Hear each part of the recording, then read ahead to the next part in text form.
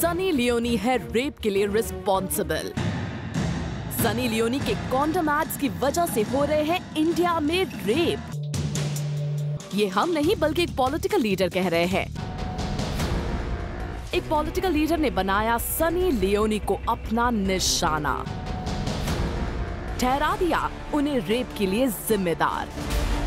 इन जनाब का नाम है अतुल अंजान और ये रिप्रेजेंट करते हैं कम्युनिस्ट पार्टी ऑफ़ इंडिया यानी सीपीआई को। जी हाँ सीपीआई के लीडर अतुल अंजान ने सनी लियोनी को सारे रेप्स की जड़ माना है। अतुल साहब ने अपने एक बयान में ये साफ़ साफ़ कहा है कि सनी जो कॉन्डम ऐड कर रही हैं, उसकी वजह से इंडिया में रेप को मिल रहा है बढ़ावा।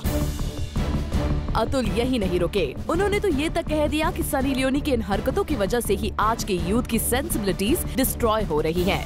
एक पॉलिटिकल रैली को एड्रेस करते वक्त मिस्टर अतुल अंजान ने सनी लियोनी को पॉन स्टार तक कह डाला। सनी लियोनी ने भले ही कई बॉलीवुड मूवीज़ की हैं और धीरे धीरे ही सही हिंदी फ़िल्म इंडस्ट्री में बना रही हैं वो अपना एक मुकाम। पर सीपीआई के इस लीडर के हिसाब से तो वो अभी भी है सिर्फ़ और सिर्फ़ एक स्टार एक ऐसी स्टार जो यूथ की फीलिंग्स के साथ खेल रही हैं। सनी लियोनी के इस मुद्दे पर क्या है बॉलीवुड एक्टर्स की राय? क्या है सनी लियोनी का कहना? ये सब हम आपको बताएँगे आज शाम सात बजे प्लान बॉलीवुड में।